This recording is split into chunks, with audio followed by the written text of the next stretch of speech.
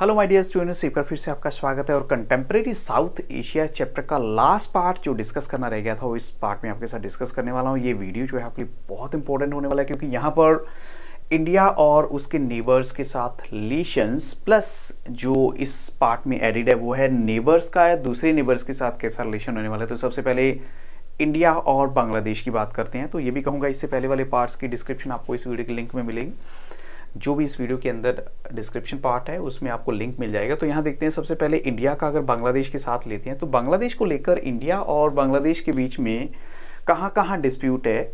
यानी कौन से ऐसे पॉइंट्स हैं जहाँ पर इंडिया बांग्लादेश को लेकर खुश नहीं है कि इंडिया कहता है कि देखो बांग्लादेश यहाँ हमारे साथ जो है कोऑपरेट नहीं करता। तो सबसे पहला पॉइंट क्या है? एक तो शेयरिंग ऑफ़ गंगा और ब्रह्मपुत्र रिवर वाटर को लेकर है।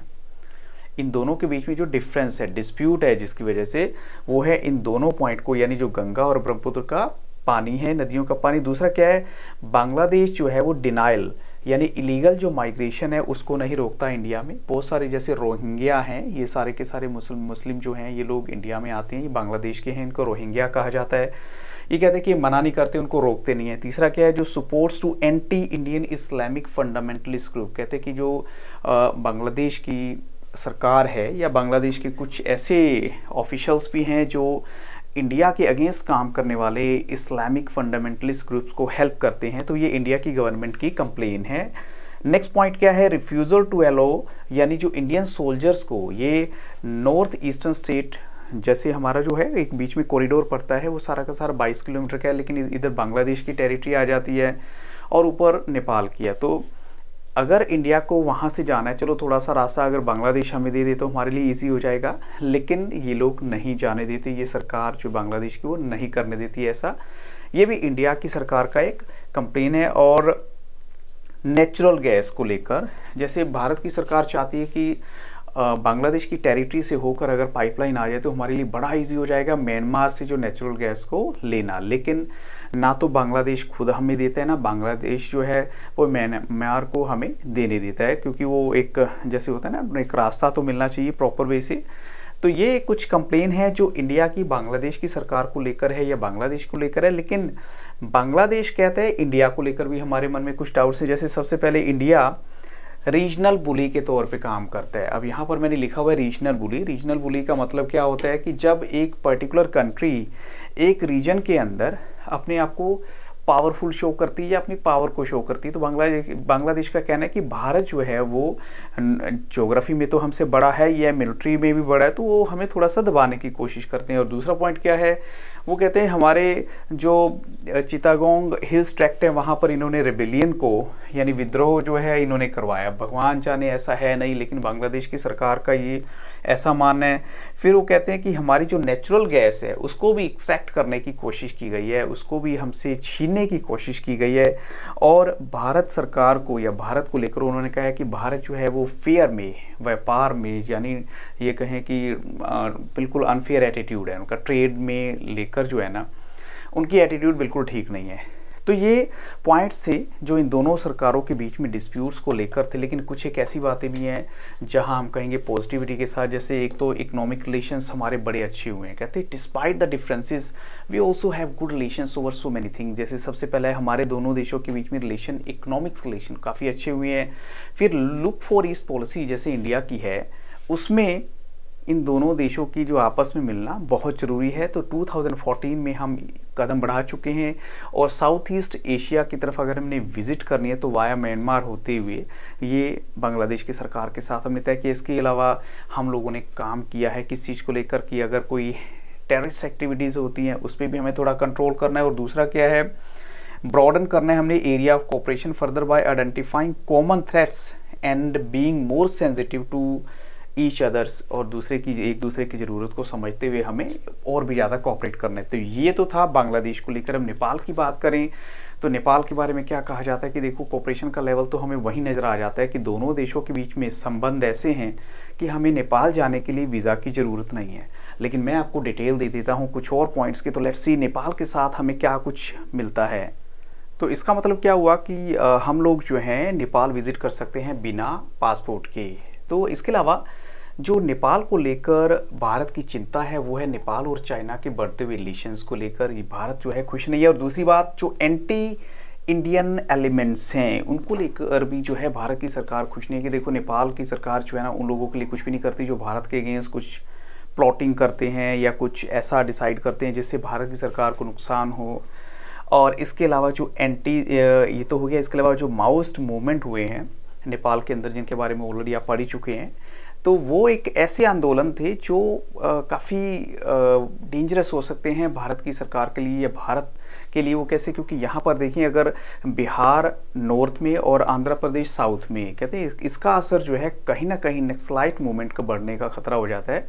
वहाँ से इंस्पिरेशन ले या कुछ भी होगा, उन दोनों के बीच में अगर आपसी बातचीत हो जाए, ये तो है भारत की सरकार की कंप्लेन अगेंस्ट नेपाल। लेकिन नेपाल कहता है कि देखो इंडिया जो है बहुत सारे लोगों का मानना है इंडिया उनके इंटरनल मैटर्स में इंटरफेयर करते हैं, जैसा ऑलरेडी मैंने मेंशन किया हुआ है।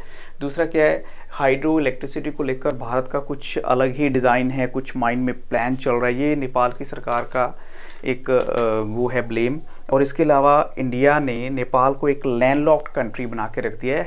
लैंडलॉक्ड कंट्री का मतलब क्या होता है? कि चारों तरफ़ से टेरिटरी है तो भारत की सरकार जो है उनको कोई रास्ता नहीं देती जिससे वो सी रूट उनका कोई बन जाए रास्ता बीच में।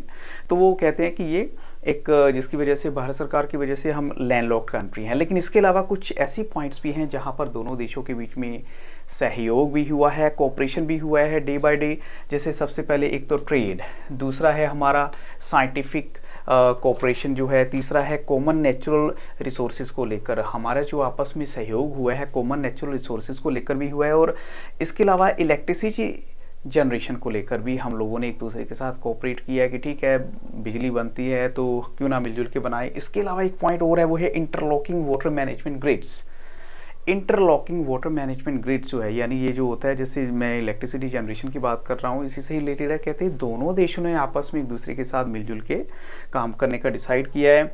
और ये भी मानना है कि ऐसी भी उम्मीद की जाती है कि जल्दी जल्दी जो है जैसे जैसे नेपाल के अंदर डेमोक्रेसी आएगी तो इन दोनों देशों के रिलेशन और अच्छे हो जाएँगे।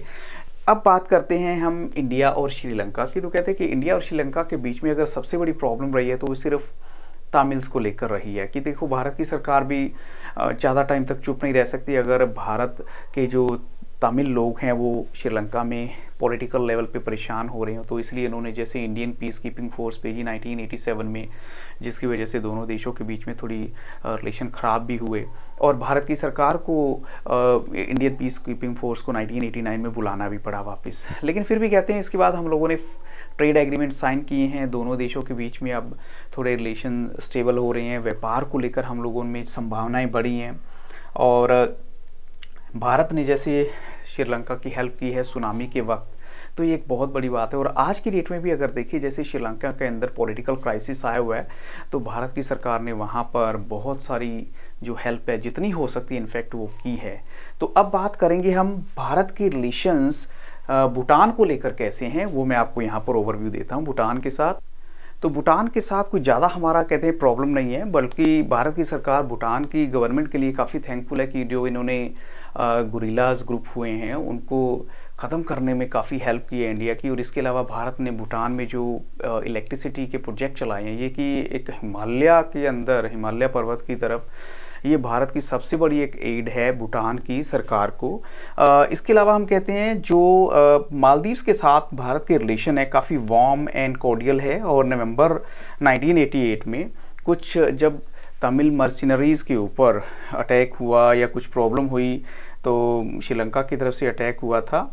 तो यहाँ पर जो भारत की सरकार ने एयर फोर्स अपनी भेज के जो है उस अटैक को थोड़ा सा रुकवाया था। और इंडिया की अगर देखें, आइलैंड की इकोनॉमिक डेवलपमेंट और टूरिज़्म इंडस्ट्री की तरफ़ भी जो है, भारत ने काफ़ी इनको कोऑपरेट करा है। इसके अलावा अगर देखें कि इंडिया की तो आपस में कुछ प्रॉब्लम रही हैं, लेकिन जिसकी जिसकी मैं बात कर रहा था कि ये कुछ देश, जैसे ये नहीं है कि इंडिया के साथ ही इनको प्रॉब्लम है। हो सकता है नेपाल और बांग्लादेश की भी आपस में प्रॉब्लम हो, या भूटान और बांग्लादेश की भी आपस में प्रॉब्लम तो वो जो पॉइंट्स हैं, वो मैं आपको यहाँ पर अभी लिख के दे देता हूँ। तो सबसे पहले हम बात करते हैं नेपाल और भूटान को लेकर आपस में क्या प्रॉब्लम है। देखो, जो यहाँ पर एथनिक नेपाली हैं, यानी भूटान का कहना है कि जो एथनिक नेपाली हैं, वो भूटान में एंटर कर जाते हैं। देखिए सिंपल सी बात है, नेपाल के लोग बड़े पक्के होते हैं अपनी एथनिसिटी अपने रिलीजन अपने धर्म को लेकर। तो ऐसे लोग भूटान में आते हैं, कहते हमारे लिए तो एक प्रॉब्लम है। और दूसरी बात, बांग्लादेश और म्यांमार को लेकर अगर देखें तो जो रोहिंग्याज जैसा कि ऑलरेडी मैं आपको बता चुका हूँ, बांग्लादेश के जो मुस्लिम्स हैं, उनको रोहिंग्याज कहते हैं। उनकी एंट्री म्यांमार में हो रही है तो ये बात म्यांमार को पसंद नहीं है। तो देखो इंडिया में भी आते हैं बहुत सारे, और उसका इफ़ेक्ट हमारी पॉपुलेशन के ऊपर तो पड़ता ही है मीन्स इंक्रीज होती है। इसके अलावा, अगर देखिए, बांग्लादेश और नेपाल का आपस में डिस्प्यूट किस चीज़ को लेकर है, वो है फ्यूचर ऑफ़ हिमालयन रिवर के वाटर को लेकर। ये आपस में रिवर वाटर को लेकर भी, जो हिमालय की रिवर वाटर को लेकर भी आपस में एक दूसरे के साथ थोड़ा इनका आपस में डिस्प्यूट है। लेकिन नेक्स्ट पॉइंट बहुत इंपॉर्टेंट है पीस एंड कॉपरेशन में सबसे पहले देखिए कि इंडिया की अगर बात करें इंडिया कहता है भी देखो, ये लोग हमें कहते हैं, हम इनको एक्सप्लॉइट करते हैं बट ऐसा नहीं है। हमारे नेबर्स हमें एक्सप्लॉइट करते हैं not in one case but many cases फिर भी कुछ ना कुछ पॉसिबिलिटी ऐसी है, जिसकी वजह से हम ये कहेंगे कि साउथ एशिया के अंदर कहीं ना कहीं पॉसिबिलिटी है पीस की, और उसमें सबसे बड़ा इनका स्टेप था जो सार की, इन्होंने स्थापना की 1985 में। South Asian Association of Regional Cooperation की वो अलग बात है कि ये ज़्यादा अच्छे से चल नहीं पाया, कुछ पॉलिटिकल प्रेशर की वजह से कह लीजिए, या कुछ इनकी पॉलिटिकल अंडरस्टैंडिंग की जो कमी थी उसकी वजह से। लेकिन फिर भी इन्होंने साफ्ता साइन किया। साफ्ता क्या है? South Asian free trade area है, जिसका मतलब है कि आप साउथ एशियन कंट्री आपस में बिना किसी रोक टोक के व्यापार करें। ये 2004 में साइन हुआ। लेकिन ये इफ़ेक्ट में कब आता है? फ़र्स्ट जैन 2006 में। अब देखो, बहुत सारी कंट्री ऐसी हैं साउथ एशिया की जो ये मानती है कि इंडिया के लिए तो ये एक मौका है हमारी मार्केट में अपना रोब जमाने का और मे भी हम लोग जो हैं मार्केट से बिल्कुल आउट हो जाएँगे। बट इंडिया कहते हैं, देखो, मुझे इससे कोई ज़्यादा फ़र्क पड़ने वाला है नहीं क्योंकि मेरे तो ऑलरेडी जो यहाँ की तीन कंट्रीज़ हैं जिनके साथ मेरे रिलेशन हैं और वो कौन कौन सी कंट्री हैं, वो सबसे बड़ी बात है कि श्रीलंका के साथ हमारा ऑलरेडी एग्रीमेंट है, भूटान और नेपाल के साथ हमारा ऑलरेडी एग्रीमेंट है तो हमें कोई ज़्यादा फ़र्क पड़ने वाला है नहीं इससे। पाकिस्तान के साथ अगर बात करें तो कहते हैं कि चाहे जितने मर्ज़ी रेफरेंस रहे हैं, लेकिन फिर भी इंडिया और पाकिस्तान के बीच में कुछ बातों को लेकर कोऑपरेशन में जैसे सबसे पहला तो हम ये कहेंगे कि जो भारत और पाकिस्तान के बीच में जो एक बस का चलना, ये बहुत बड़ी बात होती है। और ये बस जो है, ये दिल्ली से पाकिस्तान तक जाती है। इसका मतलब क्या है कि लोगों का आना जाना और वीज़ा बड़ी इजीली दे दिए जाते हैं, कोई ऐसा प्रॉब्लम नहीं है। और ट्रेड जो दोनों देशों के बीच में वो पहले से बेटर हुआ है। तो देखो कोई भी ऐसा रीजन नहीं है इस पूरे वर्ल्ड के अंदर जहाँ डिस्प्यूट्स ना हो। तो कहते हैं अगर इंडिया की अगर बात करें इंडिया तो अपनी जगह पे बिल्कुल सही है लेकिन फिर भी कुछ कंट्री ऐसी हैं जो साउथ एशिया के ऊपर भी नज़र रखी हुई जैसे सबसे पहले तो हम चाइना की बात करेंगे उसके बाद हाँ, यहाँ यूएसए के बारे में बता रखा है कि देखो उन दोनों को तो बहुत बड़ी मार्केट दिखती है पॉपुलेटेड एरिया है बहुत और प्रोस्पेक्ट बहुत बड़ा है।